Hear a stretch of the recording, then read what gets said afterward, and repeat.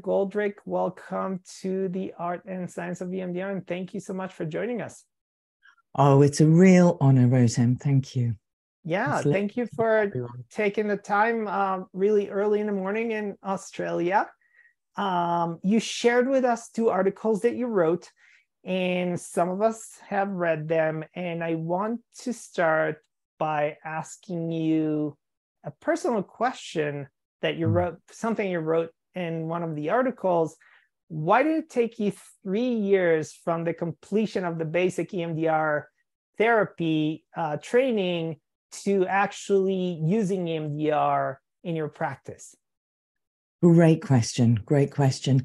Um, I think it's really the reason why you wrote your book as well, because so many of us who do the basic training end up going, ah, this is too scary. I can't do it. So that was the that was the first one. I, I don't think I was so much scared. I think it was more. Um, I haven't got a simple single incident trauma to work with because all the people I was working with, I was working in a treatment center at the time. So everybody had complex presentations, they had a lot of attachment trauma. So it was like, oh, there isn't one simple incident I can focus on. And I was just kind of really confused. Because remember, when you've only done part one, you haven't even learnt interweaves.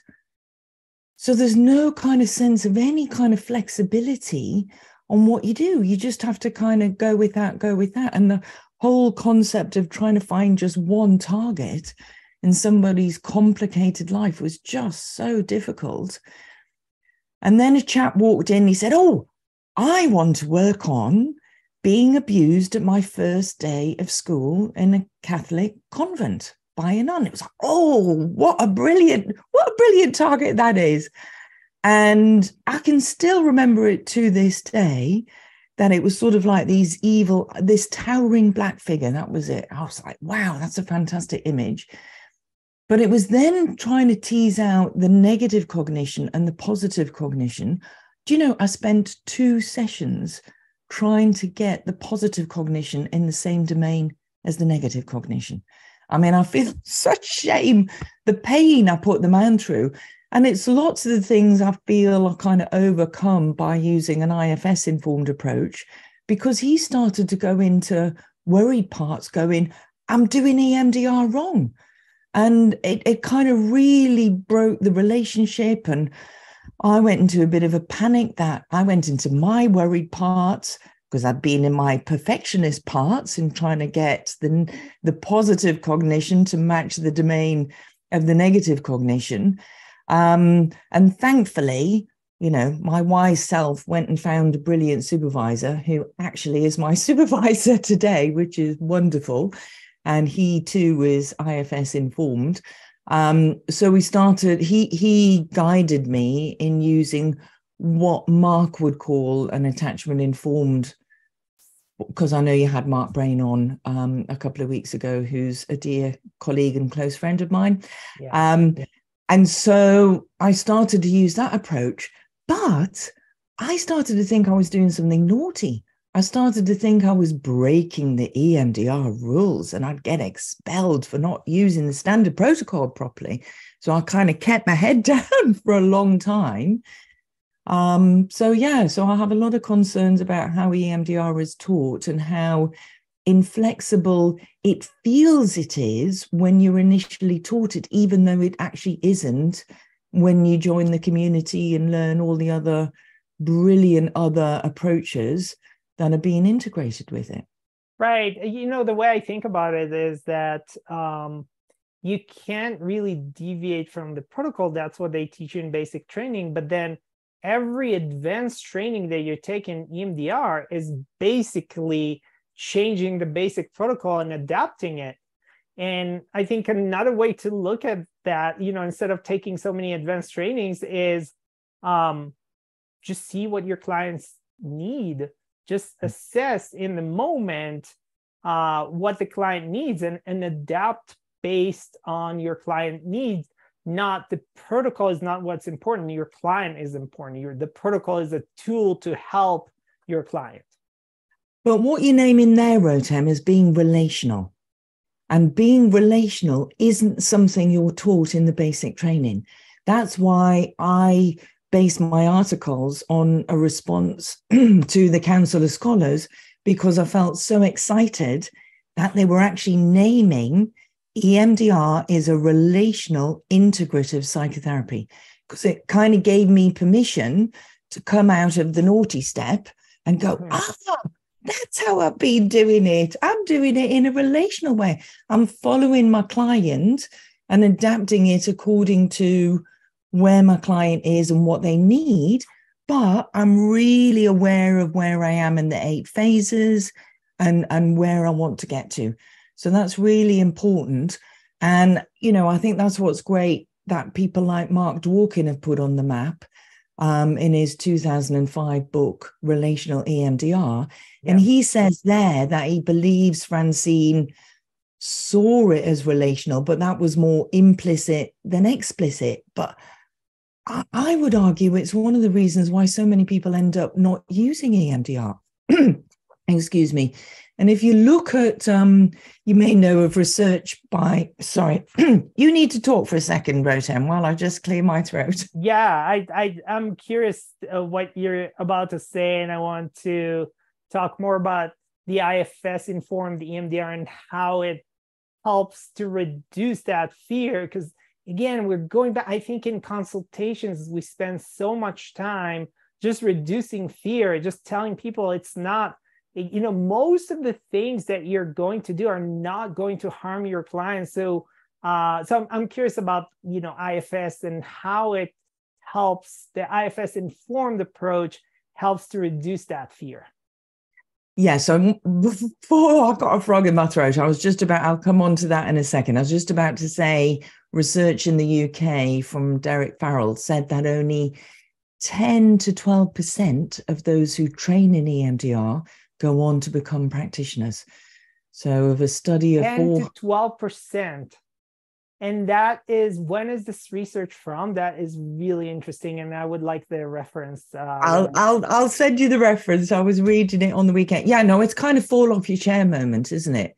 It's yeah. like it's so shocking. Not uh not a big surprise, and I mean that this is that's this why is you exactly wrote your book. I wrote this book because yeah. I think it's such a great approach and so many people give up because they feel that it's inflexible absolutely and one, one of my supervisees she said oh my goodness she said it felt like they were sending me into a war zone it was you know it's so dangerous and use it and don't use it and use it and she said i was then completely terrified but the other thing i find concerning is that they then say well if you do this right so it's kind of encouraging those perfectionist parts that I was describing with my first client, then it'll work. Well, it doesn't because that's giving you an external instruction that's not relational. So, what I love about IFS is it brings a relational dynamic into the work. It's saying, let's get curious about what parts of our client are getting triggered here what parts of our client are freezing or going numb or want to or dissociating or don't want to go to that memory so yeah. it's that concept so i think there's a couple of things that for me well we can go more into the similarities and differences but it, it's kind of it's instantly giving a relationship both with the client and with the client's parts it's the concept of multiplicity that different parts are doing different jobs. And what if the client, in a healthy way, is actually just trying to protect themselves and exploring that? Or maybe that's a part that's stuck in an old pattern that was there from being a child. And maybe now they're an adult, it is safer for them to, to talk about that memory but it wasn't safe when they were a child. So it just gives us much more information to go on. One of one of the people who did my course, she said, "Oh, said I get it." She said, "It's a little bit like we're doing EMDR. We're entering a darkened room and we don't know who's in the room. If we've got IFS and we know whether we've got protectors, whether they're managers or firefighters or exiles. There's like, we're turning the lights on and we know who's there. We know who's inside. So that's why I think it just gives all of us, the client, us, the therapist, much more information about what's going on inside and not this kind of really kind of just focus, focus, focus on what the target is. I mean, that's the other argument that IFS world make is that EMDR just goes far too directly and quickly bypassing the protectors and really freaks the system out. Um, and that's what can generate some of those ab reactions. Because from a basic point of view, I, EMDR doesn't even ask permission. So it's a little bit like if I was coming around your house to see your kids, Rotem, and I was a bit concerned about them, it's like I'd knock on the door. I wouldn't even ask your permission. I'd just march in and go and start talking to your kids. You wouldn't feel very happy about that, would you? Probably not. so, at the most basic, at least ask permission. Yeah. Um, can we talk about phase two? Because in IFS, in, in one of the articles that you shared with us that you wrote, you say that there's no there's no grounding, there's no resourcing. So how does that integrate into the um, eight phase model, especially with you know attention to phase two? Well, the first thing is I'm I'm not doing a rigid approach to IFS. So I actually profoundly disagree with the IFS overall approach with that. And what I do like about what Dick Schwartz says is, you know, you can be flexible with my protocol. What I ask of you, if you're going to use IFS, is that you treat the parts as sacred inner beings. Mm. So it's that kind of deep level of respect.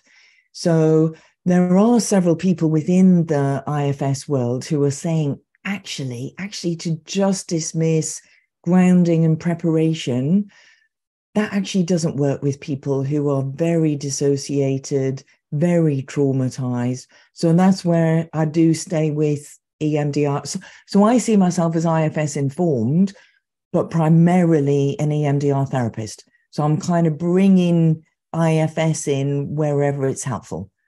I'm not so it's not like my whole map is IFS and I'm bringing EMDR in. It's it's the other way around. My overall approach is EMDR because I do think EMDR is quicker and more direct if we can do that. But if we can't, then then using IFS to dialogue with the parts, get permission, and understand their role and their purpose and help them upgrade their jobs. I mean, what I really love about IFS is the concept of a system that we're going, that there's a whole system here that's, you know, about homeostasis and about thriving. And if we go directly in and begin to change a part, well, that's going to affect the whole system. I mean, I used to work as a family therapist in a treatment center and used to say that the family is like a, a child's mobile hanging over the cot. And when the wind blows, the whole lot moves. So we're changing things in a system that's going to affect all of it, isn't it? And so that sometimes is why there can be ab reactions and backlash because we haven't appreciated the whole system and how it works and and the intricacies of the different the different roles different parts play. So I think that's really important. So yeah, no, I I I totally disagree with that aspect of IFS and think it's really, really important. Um, but I do like what I know you've had Jamie Marich on as well, who I think is absolutely brilliant. And I like, and I think you say this in the book that, you know, we do some preparation and some grounding in those skills and get into desensitization. And then the client can go back and do a bit more resourcing. It's like there's a bit more space there right. to allow a bit more self-care. So it's like a bit of a tiktok in those kinds of things. So i like i like to kind of see it in that whole way. The more we desensitize um, the more space there is. And that's why i like the language of ifs because it talks about the the parts carrying burdens And so the more the parts are unburdened, the freer they are to kind of collaborate, cooperate, and the whole system to kind of take better care of the client. Yeah, I like the systems thinking. First of all, uh, you know, it's we. I think in the modern world, we we're looking for quick solutions. So if you resolve this, then the problem is gone. But then a lot of times in, with with systems thinking, you look at all right, if this is changed, um, you know, mm. one example I'm thinking about is SSRI medications for depression you're changing the dopamine. Let's say you are changing the dopamine level. What happens to the other parts of the brain? What happens to the other neurochemicals in the brain? So same thing with with our internal system. You're changing one parts, and that's why we're seeing sometimes we feel like we're making progress, and then you know the next session something is happening so, Annabel, I'm wondering if you can talk a little bit about the parts, the different parts in IFS, their roles, and how it integrates into our EMDR work. Mm, mm. So, there is, I could have brought a PowerPoint, but I haven't, but you can find it very easily. I, I, I'm doing that because it's it's a mandala, it's a circle. And the idea that there are kind of three main groups of parts the managers, the firefighters, and the exiles. And then in the center is what's called self energy. And what I love about EMDR, EMDR, I love EMDR, of course I do. And what I love about IFS is it says that um, our self energy is never damaged by trauma. It's the parts who take the hit. And this this is the bit that I think EMDR and IFS share is this sense that the healing energy is within the client. So in IFS, it's called self energy. In EMDR, it's called adaptive information processing. Now, one of my things with EMDR is that its language is a bit clunky. Whereas I think the language of IFS is much more kind of relational and fun. And what if, what if self energy? I mean, I know we talked about this briefly earlier. Self energy has theoretically eight C's. I am just going to check I've got them right calmness, curiosity, compassion, connectedness, confidence, creativity, courage, clarity. I mean, I said that to one client. He said, Oh, great. Is there a pill for that? um, what I like about it is it kind of puts a bit more flesh on the bones of what health and well-being looks like. I don't think EMDR gives us enough of that. So what IFS brings to me is a kind of whole, holistic model of the mind with uh, the concept of the different parts. Um, but this idea that self energy is never damaged, I think that's much less pathologizing than other models like structural dissociation can be. It's much more optimistic, it's much more spiritual. I mean, I was initially trained as a transpersonal therapist, so this makes a lot of sense to me that this is the self energy is like your soul, your essence, your beingness, and it's never damaged by trauma. So that's much more hopeful for clients who've had a lot of early childhood trauma. It says you don't have to have had all that nurture. This essence is, is within you. But the parts, the managers, the firefighters, the exiles, they're burdened and they're like the clouds that cover the sunshine of your self energy. So, first of all, it's that optimism. Um, so, what what Dick Schwartz discovered is that what to me makes his model a little bit different from others is this idea that yes, the parts are like the clouds, but if you invite them to relax back, invite them to sit back, oh, then there's more space for that self energy. So we don't like the Dalai Lama have to sit and meditate for four hours a day to access this. Um, it is actually already within us. I do also feel that the more desensitization we do, then the more space there is for self energy. So I think there are there is a lot of kind of read across in both models about that. Now, I've got lost in self energy because I think that's that's so healing and helpful. Um, but just to go back to the parts, so basically, although there are three groups of parts, they actually do two different jobs. So both the managers and the firefighters, they're both protectors. They're trying to protect the exiles. The exiles are the ones who hold the worthlessness, the shame, the loneliness, the real pain. And it's often the exile, well, it's usually the exiles we're, we're trying to access in EMDR. And the trouble is, that's what I was saying earlier about going too fast, that, you know, in EMDR, we kind of go, oh, buddy, I got to that really, really distressed little child.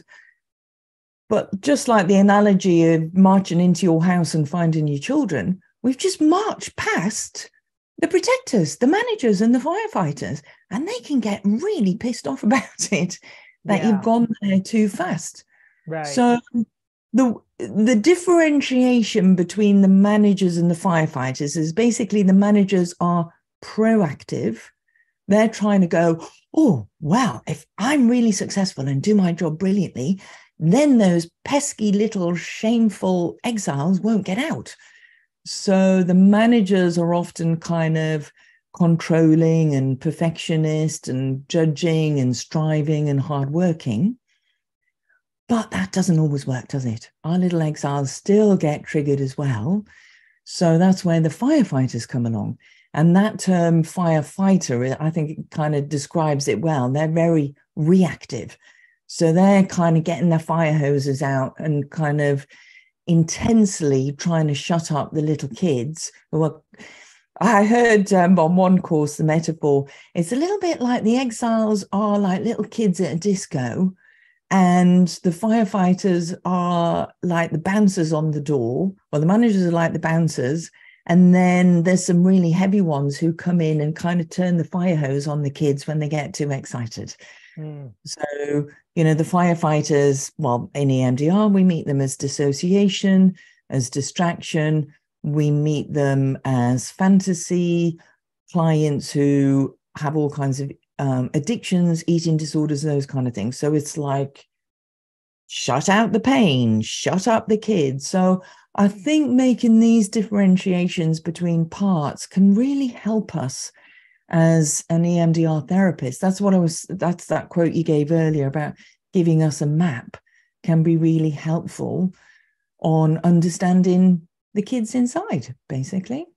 Yeah. Uh, one of the questions that we had from one of our community members was how do you go back and forth between IFS and EMDR and then IFS again? And the way I understand it, the way that you teach it, and I want you to also, uh, if you don't mind talking about your course that you're teaching, the the really um, deep dive into that. It's not like a you know like a a few hours. Of course, you're doing it over an, extend, an extended period of time.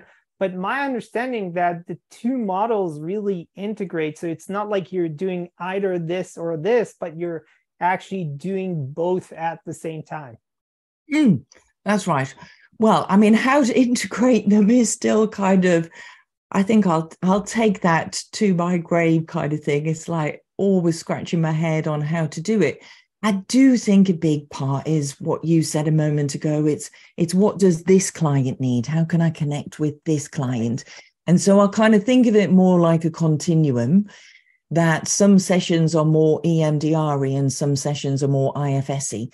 And we're kind of sliding along that continuum depending on where that particular client is at this point in their recovery and achieving the particular goals they want to achieve. So I, I, kind of alter it in that way. I mean, I have written a protocol myself where kind of through the eight phases, I kind of track through what it could look like in an ideal world.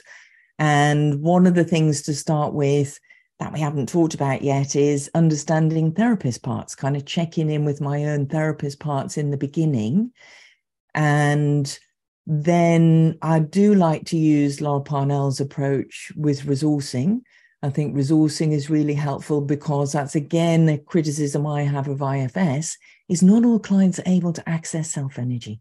Mm-hmm. But if we had those external resource figures, the nurturers, protectors, and wise beings, they're just external kind of prompts, if you like, for those internal feelings of self energy. So I do like to use those. And then kind of, I prefer to use Laurel's simplified model of kind of finding a trigger in the present and then using that to kind of find a part. But actually, a part is just a target. Whenever, when it, so it's kind of TikTok in between it being a target. Bruce Hersey talks about this really nicely, kind of using parts language in finding a target. So well, you talk about it too, and and, and yeah. I'm quoting one of your articles. You say in IFS, the memory is seen as a story to be shared by the part who experienced the, that trauma. The self witnesses the story along with the therapist with compassion and curiosity and it is the self that steps into the scene so the exile is no longer alone and that's yes. kind of i think that's the, the, that beautiful integration right like this is like when self is witnessing and again sometimes we need the therapist you know to be to express more presence that's the relational mm-hmm. approach uh, this is the path to adaptive resolution mm-hmm. Well, again, if we kind of look at those from an EMDR and an IFS point of view, um, EMDR has this great concept of dual awareness. So it's kind of one foot in the present, one foot in the past. Right. And we are trying to get the client with more kind of today eyes look at that scene in the past. But what if, what if the the client's healthiest adult self well, sorry, adults in self energy with that compassion and curiosity could actually visualize stepping into that scene and then kind of approach the little one. And if we were working with the little two year old part of you, say, Rotem, step into that scene with that two year old part of you. There's dad there shouting at you. Just let that little one know that you're there. Does he know you're there? And quite often, when you ask child parts, they say, I don't know who he is. Well, let him know. Give him an update. Tell him who you are. Tell him what your life is, who you're married to, your job, and how many people. So that's kind of calming the system and putting a resource right in the scene. And then, because this is all IFS, does this, I mean, other therapies do this as well. Um, what does this little one want? Does he want you to hold his hand? Does he want you to, does he want to sit on your lap? And then let him, and so you can kind of, you can do all of this with BLS, and then you can kind of feel the imagery of the shouting father beginning to blur and disappear. Now, with a few people I've done this with, I mean, a colleague I did it with in, in a demo once, she'd worked on a particular very dramatic target multiple times um, in involving a, a, father and a gun. Her father was a policeman, very dramatic. Um, but she froze and dissociated every time.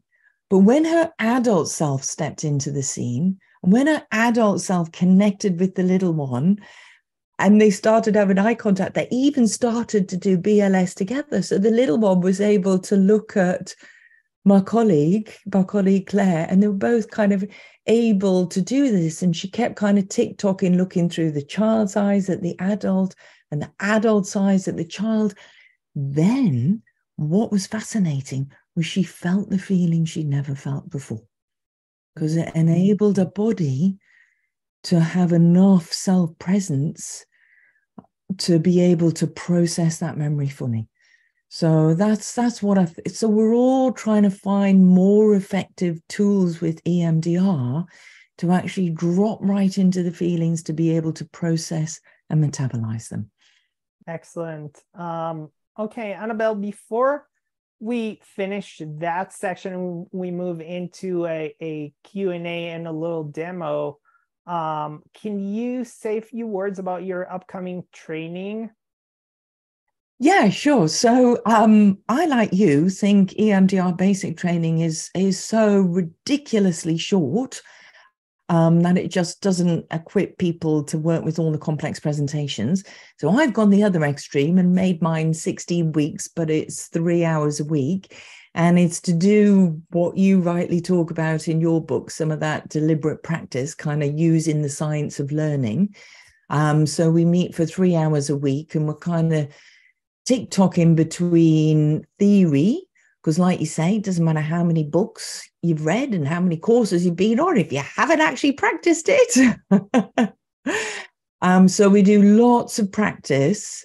And, um, like I said, I've written this one protocol that kind of integrates the whole thing, kind of finding a target, accessing self energy, getting permission, adults stepping into the scene but there's lots of different steps here. There's lots of new bits to learn about the different roles of the parts actually finding a part focusing on a part.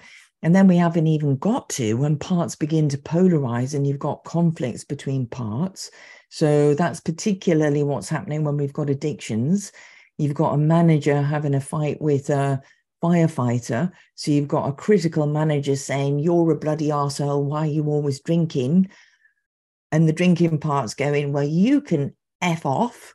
Um, I've got to, I've got to do that to shut up the wounded child who keeps screaming. And if I don't keep drinking, you won't be able to function. So exploring polarities. So yeah, so there's there's quite a combination between theory and and practice but we're we're trying to make sure there's a, as much practice as possible. You know what I find interesting, Rotem, is how many people get scared of the practice and they kind of go, "Oh, I can't turn up this week for practice. I'm busy. I've got to do this," and I make up they've got some worried parts. But then when they come to write their feedback, they say the course was brilliant. Could have done with more practice. So I just find that interesting how many people realize that at the end? So another big part of the course, one of my one of my team members said, um, she said, "Oh, this course is great." She said, "You actually get two for the price of one. You're learning lots of theory to use with your clients, but also you're learning about your own therapist parts." And so that's really integral to the course. What part am I in? What's the the u-turn that's occurring inside of me in understanding my parts so i'm not sure if we've got time to to do it today but i have a little meditation i like to do in exploring your own parts that get triggered by clients. I think again that's a really central piece of IFS is all the time i mean in other therapies it's called transference and countertransference um, but again, wow, that language is clunky. What about we talk about what parts of Rotem are getting triggered? Is it your worried parts, your perfectionist parts, your caretaking parts, your trauma parts? So, really understanding yourself and what's getting activated by particular clients is really important. So, that's what I'm encouraging the participants to work on all the time understanding themselves and using triggers with clients as particular targets to work on in, in the practice sessions. So, in the last one we finished um, in June, so we went from February to June, and several of them said, Oh, I want it to be longer. You've got to do a part two. So, in some ways, we're only scratching the surface. I mean, if you look at IFS, I'm doing 48 hours, and IFS part one is 100 hours. So IFS is saying, we want to help you with your therapist parts, understand them and work with them, know when they're getting triggered by your clients much more. And again, I think this is um, a missing piece in the training of EMDR that yes, it comes later, but I think we really do do our trainees a disservice to not kind of front load it a bit more. So that's a big part of my training. And you did have a question. I'm in Australia. Yes, we do a course, Australian mornings that Americans can join. And we also have a UK course That's Australian afternoon. So three hours a week, we get to we get to make some good friends. Yes. So for those of us who are with us live, I dropped the link in the chat. And for those who watch it later on YouTube or the Art and Science of EMDR website, there will be links below this video for Annabel's trading. Um, Annabel McGoldrick, thank you so much for your time. Thank you. I've only just begun. I know. We should do a, a part two.